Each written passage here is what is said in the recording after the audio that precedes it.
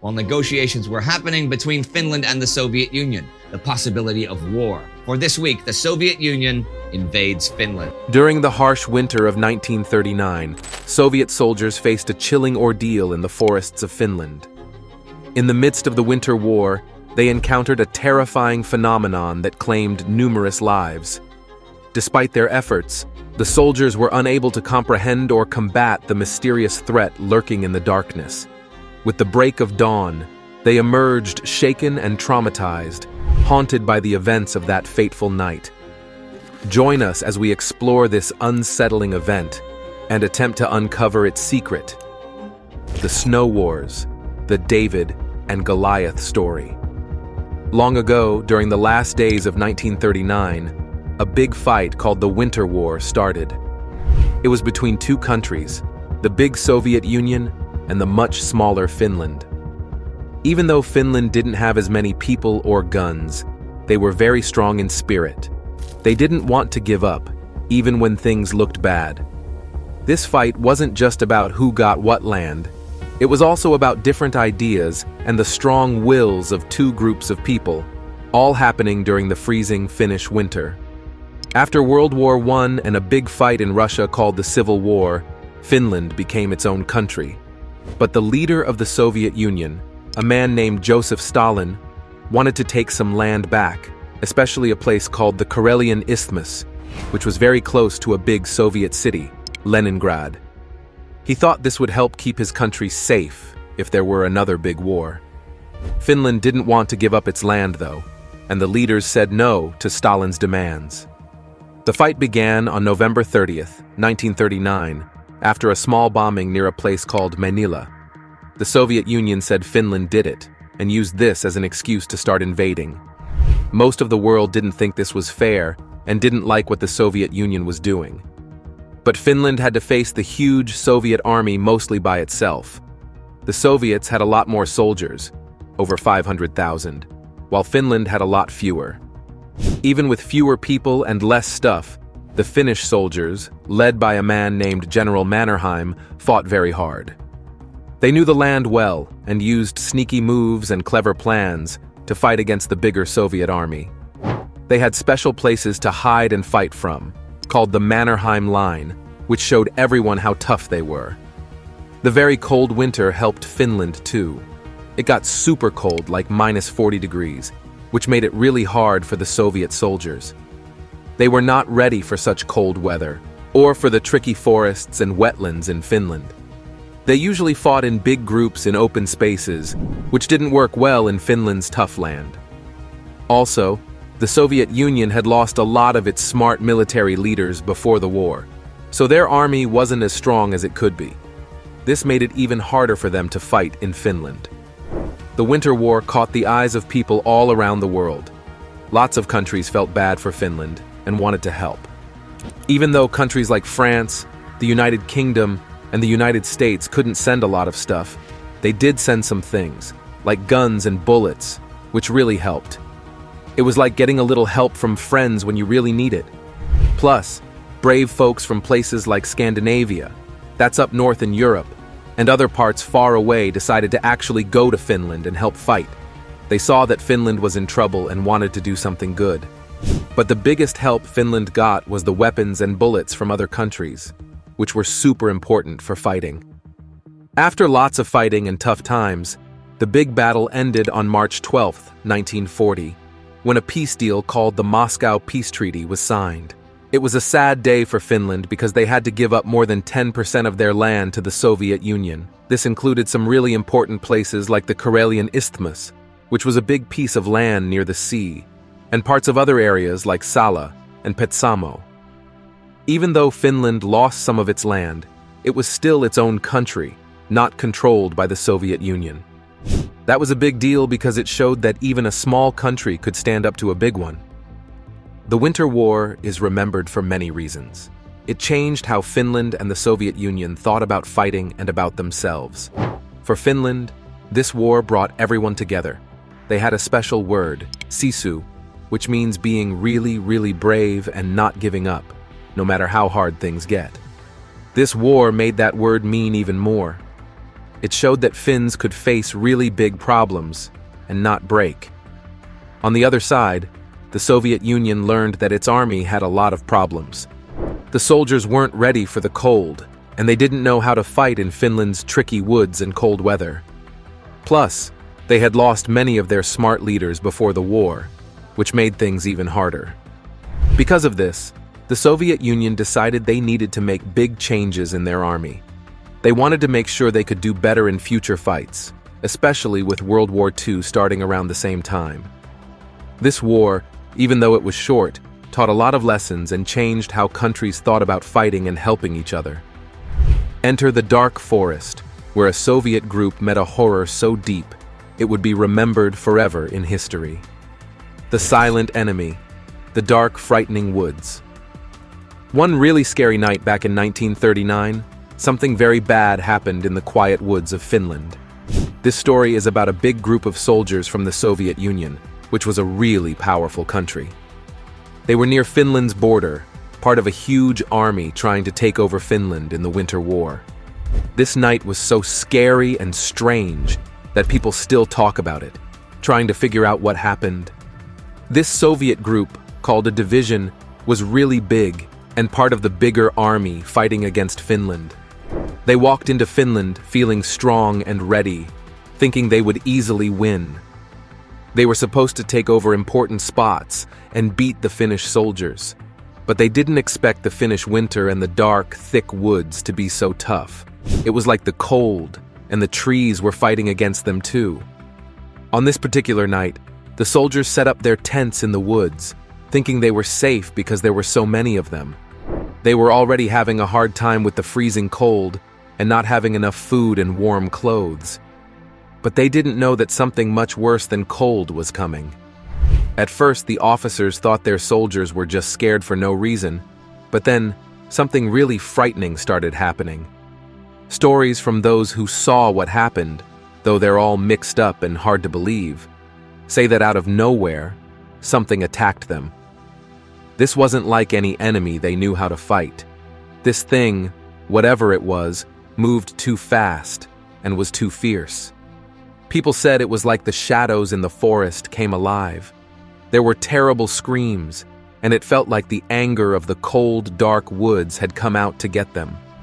The Soviet soldiers, who were trained to fight other soldiers, didn't know what to do. They tried to fight back, but it was useless. They couldn't see who or what was attacking them. It was too dark, and the woods were too thick. They were scared and confused and their usual ways of fighting didn't work at all. When the sun came up, it showed how awful the night had been. The place where they had camped was destroyed. Tents were ripped up, and all their stuff was thrown all over, covered in blood. The soldiers were all over the place, too. Some were hurt really badly, and others looked untouched but were still dead. No one could tell exactly what had happened. It was a mystery, with so many soldiers gone in such a strange and sad way. This night became a famous story because it was so unusual and scary, a reminder of how tough and mysterious the war in Finland was. Right after the scary night, everyone thought maybe the Finnish soldiers had attacked the Soviet group using sneaky fighting tricks. But this idea didn't make sense for long. The hurts on the Soviet soldiers were strange, not like what you'd see if there was a normal fight. They didn't have the kind of wounds you get when you defend yourself. Also, there wasn't any clear sign that a big group of attackers had been there. This made the people trying to figure out what happened very confused. People started guessing all kinds of things. Some even thought maybe there were ghostly spirits or strange beasts from Finnish stories out in those woods. These are old tales about scary things living in the forest. Then, there were others who thought maybe the Finnish people did something to make the Soviet soldiers very scared on purpose. But there was no real proof for any of these guesses. And with so many soldiers gone in such a scary way, nobody could really say for sure what happened. The Soviet army tried to find out more by asking questions and looking into it, but they ran into problems. One big issue was that the soldiers who were there and still alive were too scared to talk much. What they had gone through was so bad that they couldn't put it into words properly. The Finnish people said they had nothing to do with it. They thought maybe the Soviet soldiers got too scared because they were in a strange place, and because it was so cold and hard out there. This could make a little sense, because the Winter War was really tough, especially because of the weather and being scared of hidden enemies. But even this didn't explain everything about why so many were hurt, or why it looked like there had been a big fight. This strange event where so many Soviet soldiers were hurt in the Finnish woods is still a big mystery from the Winter War in 1939. There are not many clear stories or records about that night. Most of what we know comes from bits and pieces from people who were there and from some papers the Soviet military had. In this chapter, we try to put these little bits together. We look at what the few people who saw what happened say and what the official papers might tell us, trying to shine some light on a very dark and confusing event. In the quiet after, survivors talk about things too scary to understand. What secrets are hidden in the quiet cold? Ghostly nights. The Russians' terrifying threat. A few people who were there and made it out alive talked about how that night was really scary in a way they couldn't explain. They all said different things, but they all were really confused and scared, and it seemed like they were all dealing with something they couldn't see. They talked about hearing weird sounds when it was dark, like soft talking coming from all around, and sudden loud screams that made the cold night even scarier. One person said the air felt so thick it was hard to breathe or even move around because they were so scared. Another person said they saw weird shapes moving just outside the light from their campfire. These shapes moved too smoothly and quickly to be people, but they didn't move like normal shadows or like leaves blowing in the wind either. Everyone who talked about that night said they felt a really deep kind of fear, like there was something there making everything feel tight and heavy. The Russian army's records about what happened are very short and don't say much, because it seems like they didn't want people to find out anything that could make the soldiers feel bad or show that the army did something wrong. The few things we can learn from the records say that they checked everything out quickly and in a big way, but they didn't share what they found out, or sometimes that information just isn't there for us to see. The records just touch on where the group was sent and what they were supposed to do, then all of a sudden, there's nothing more from them. What comes after just talks around what happened, mentioning a big loss and something unexpected, but doesn't really go into it. They don't say anything about fighting with the enemy, which makes sense because there's no real proof that there was a battle with the Finnish army. Because the stories from people who were there don't match up with the few things in the records, lots of people have started guessing about what might have really happened. Some think that the Russian army was trying to hide that they ran into something really strange that they couldn't handle. Maybe because they didn't want anyone to think their army could be beaten. Others think maybe the stories don't line up because war is messy, and sometimes things happen that are so strange, people just want to forget or move on from them instead of trying to explain them. The fact that this scary event didn't get much attention or wasn't talked about much in the Russian army's history books has made some people think that it was a really embarrassing moment for them. They believe it was a big mistake that the Russian army didn't want to look into or talk about. It's important to think about how much control the government had over what people would know or say. Back then, especially when Stalin was in charge, Russia was really strict about controlling news and stories to make sure everyone thought the army was super strong and couldn't make mistakes. It's likely that any information or stories that didn't match what the government wanted people to believe were hidden away or changed. This control over the news probably affected the people who survived that scary event too. They might have been scared into keeping quiet or changing their stories to fit what the leaders wanted everyone to believe. The fear of getting in trouble, along with how upsetting and traumatic the event was, could have made many people decide not to share what they really knew, or to only talk about it in a way that wouldn't cause more problems. After the terrible event where a whole group of Russian soldiers was destroyed in the thick woods of Finland during a very cold war, lots of different ideas have popped up trying to explain something that doesn't seem to make sense. There are many different ideas, from ones that sound reasonable to ones that are more like wild guesses or fantasy stories. Each idea tries to answer the big question that's been left hanging since that scary night. What kind of force could wipe out a whole group of soldiers in such a strange and mysterious way? One simple idea that some people have is that the group of soldiers was attacked by wolves or other wild animals. This happened in Finland, where the winters are very, very cold. Because it was so cold, animals might have been really hungry and desperate for food, which could have made them attack the soldiers. People who believe this idea say that the way the soldiers' bodies were hurt looks like what happens when animals attack. But some people don't think this is true. They say the soldiers had lots of weapons and knew how to fight, so it doesn't make sense that animals could hurt them so badly without any signs of the soldiers fighting back. Another idea is that the really bad weather could have caused big problems for the soldiers. When it gets super cold, people can start to feel very confused, see things that aren't there, and even start to act in ways that don't make sense. They might have started to panic because they were so cold and confused, which could have made everyone scared and act crazy. This might have led to the soldiers accidentally hurting each other or themselves without even realizing it. This kind of thing where everyone starts to panic and things get out of hand, is called mass hysteria. These two ideas try to explain what happened without making it sound too mysterious. They look at things like the weather and animals, which can be dangerous but are normal parts of nature. But not everyone agrees with these ideas. They think that there has to be more to the story because of how bad the situation was for the soldiers. Plus, if the cold or animals were the reasons, some people wonder why there weren't clearer signs, like tracks in the snow or signs of the soldiers fighting back. Go deeper into the cold mystery, where guesses and old tales mix to create this scary puzzle. The coldest war, the soldiers have fallen. The Winter War was a tough time for the Soviet soldiers, mainly because of the freezing cold.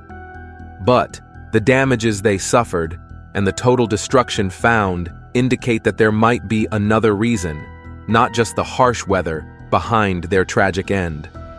One thought is that the Finnish army might have secretly attacked the Soviets. The theory is that the Finnish fighters, who were really good at surprise fighting and knew the area like the back of their hand, might have ambushed the Soviet soldiers unexpectedly. They could have used tricks like making weird noises or using local scary legends to frighten the Soviet troops. This would have caused total chaos and fear among them. Although this idea sounds possible, there isn't any strong proof to back it up. Also, when we look into Finnish military records from that time, there's nothing that says such an attack ever took place. Then there's a more unusual theory that involves creatures from old Finnish tales. According to some stories, there are spirits and magical beings that live in the forests, some people believe that the Soviet soldiers might have come across these supernatural beings. Even though this idea captures the imagination, it doesn't have any real evidence to support it, and most experts in history don't take it seriously. But it does show how people sometimes turn to mythical stories when they can't find logical answers. Another explanation looks at the mental state of the soldiers. It's thought that they were under a huge amount of stress and fear, being all alone and far from home. They might have been scared by rumors of Finnish magical attacks and become overly anxious. This severe fear might have led to a terrible situation where they couldn't tell friend from foe and started attacking each other in a state of panic and confusion. There's also a possibility that some kind of poison played a role, whether it came accidentally from the Soviets' own supplies or was a purposeful attack by the Finns. The idea here is that being exposed to some harmful chemical could have confused the soldiers and caused their downfall.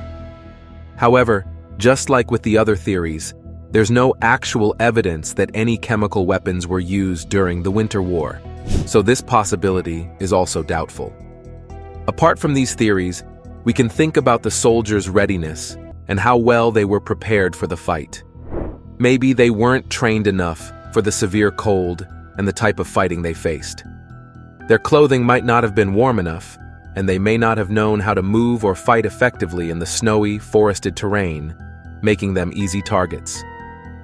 The communication between the soldiers and their leaders might have been another big problem. If the soldiers didn't know what was happening or what they were supposed to do, confusion and fear could easily take over. This lack of clear orders and understanding could lead to mistakes, accidents, and even panic. In the long history of military events, there are many stories that leave people scratching their heads, just like the mystery of the Soviet soldiers in Finland. These strange happenings from different times and places all have something in common. They are full of questions and puzzles, making us wonder exactly what occurred and why. Let's explore a few more examples that are just as spooky and hard to explain as the fate of the Soviet division. One of the biggest unsolved mysteries from Soviet times is the Dyatlov Pass incident. This story is about nine hikers who went on a trip in the northern Ural Mountains and never came back alive. Their ending was very strange, similar to the Soviet soldiers in Finland, because they were found dead in ways that didn't make sense. The injuries on their bodies ranged from small cuts to very serious ones, but no one could figure out exactly what happened to them. People have guessed all sorts of things, from natural disasters like avalanches to very strange ideas like secret military experiments and even aliens. Since no one knows for sure what happened, the Dyatlov Pass story has remained a topic that people are very interested in and talk about a lot. Another mysterious event happened at the beginning of World War II in Los Angeles. One night, the people of the city were suddenly woken up by loud sirens and the noise of guns shooting at the sky. They thought it was an attack by enemies, but there were no enemy planes seen. This strange night is known as the Battle of Los Angeles. Just like with the mysterious event in the Finnish woods, this incident happened quickly and left everyone confused. People have tried to explain it in many ways, from thinking it was just a big mistake because everyone was very nervous about the war, to more wild ideas like spaceships from other planets. Looking at other unsolved mysteries in history, see how the strange event in the Finnish woods fits into these unknown stories. The troops vanishing without a trace. The Bermuda Triangle is a famous area in the western part of the North Atlantic Ocean. This place is well known because many ships and airplanes have disappeared there without any explanation. One of the most famous stories is about Flight 19. This was a group of five U.S. Navy bombers. They were on a practice flight in 1945 when they suddenly disappeared. They couldn't be found anywhere, and even a plane that went out to look for them also vanished. People started talking about the Bermuda Triangle having special, maybe even magic-like powers because of this. The story of Flight 19 is not about a terrible tragedy where lots of people are harmed but it is a mystery. It's about how sometimes we cannot understand or explain everything, especially when faced with the unknown. Back in World War I, there were also strange stories. One such story came from the Battle of Mons, where British soldiers were fighting. People said that angels appeared in the sky above the soldiers during the battle. These angels were thought to protect them from the enemy, who were the German soldiers. Later, People thought these stories might have been made up or imagined. They thought the soldiers were very stressed or remembered old stories from their culture or religion. This story, like the one about the Bermuda Triangle, mixes war, mystery, and things that seem beyond our normal world.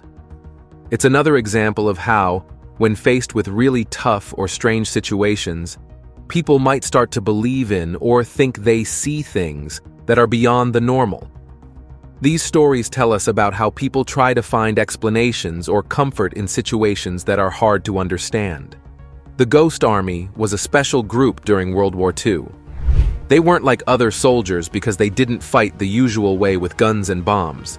Instead, they used tricks to make the enemy, which was the German army, think they were somewhere they weren't. They had fake tanks, which were really just big balloons, and played sounds of pretend armies to trick the Germans. This is called psychological warfare, which means using tricks and lies to make the enemy scared or confused. This idea of tricking the enemy is old and has been used in many wars, not just with the Ghost Army. It's about playing with the enemy's mind and feelings to make them give up or make mistakes without having to fight them directly. It's like playing a scary prank on someone to make them think there's a ghost, so they run away even when there's nothing there. For example, during a very cold war called the Winter War, the Finnish soldiers used the snowy and spooky forests to their advantage against the Soviet army. The Soviet soldiers were not used to the scary, quiet forests in Finland. They were far from home and already scared. The Finnish soldiers used this fear. They would make strange noises or use the shadows and sounds of the forest to make the Soviet soldiers even more scared. This wasn't just fighting with weapons, it was fighting with fear and mind games. Psychological warfare, like what the Ghost Army did or what the Finns did in the forest, is about finding what scares the enemy or makes them unsure. It's about using those fears or doubts to beat them without a traditional fight. It's like how in some stories, heroes don't always fight monsters with swords or strength. Sometimes they use clever tricks or find the monster's weak spot. In real wars, these tricks and mind games can save lives by ending fights without real fighting. When soldiers go to war, they face the very real risk of dying every day. This is super scary. So many of them start to believe in lucky charms or special rituals to feel safer or to think they have some control over what happens to them. The soldiers from the Soviet Union were no different. They came from many different places all over the huge country, and each place had its own stories and beliefs. So imagine all these soldiers, each with their own set of fears and hopes, coming together.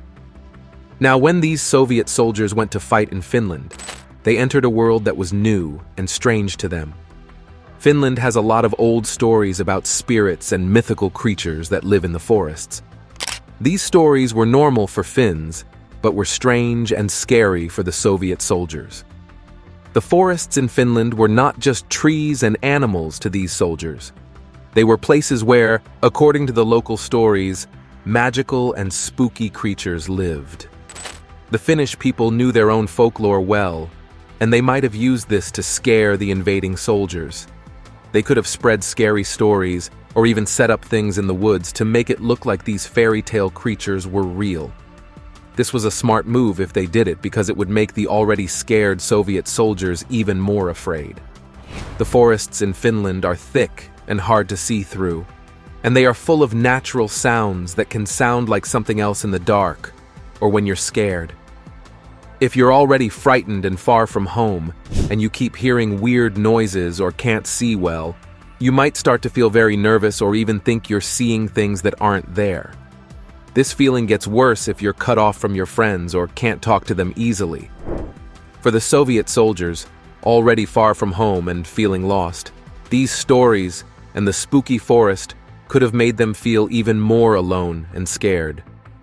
This is what we call psychological warfare. It's when you use tricks and fears to mess with the enemy's mind. In the cold, whispering forests of Finland, it was easy to make the soldiers feel like they were surrounded by ghosts or monsters, even when there wasn't anything there. Long ago, in wars and battles, people found out that they could use tricks and scary stories to mess with their enemies' heads. This is called psychological warfare, and it means using fear and mind games instead of just fighting with weapons. One famous time this happened was in World War II, during something called Operation Quicksilver. The Allies made fake armies out of blow-up tanks and pretend soldiers. They did this to trick the German spies into thinking there were a lot more soldiers ready to fight than there actually were. This trick wasn't about making the enemy scared of ghosts or monsters, but it was still about playing tricks on their minds. Now, let's talk about something that happened during a tough time in Finland. There was a really bad fight where a lot of soldiers got hurt, and no one could really explain what happened. This mysterious event made the soldiers fighting in Finland even more scared and confused. They started to believe more in the scary stories and rumors about the place. These weren't just any stories. They were tales of the spooky and weird forests in Finland, filled with creatures from old tales that the local people grew up hearing about. The thing is, when soldiers hear these kinds of stories, especially after something really scary and unexplainable like a massacre, it makes everything seem even spookier. They start to believe in these stories more because they're already in a scary and stressful situation. This makes them not fight as well because they're not just fighting the enemy anymore. They're also fighting their own fears and the scary stories in their heads. Was the massacre of the Soviet division in the Finnish forests a result of natural elements, a Finnish trap, or something far more inexplicable? Share your thoughts and theories with us in the comments. And don't forget to like and subscribe for more.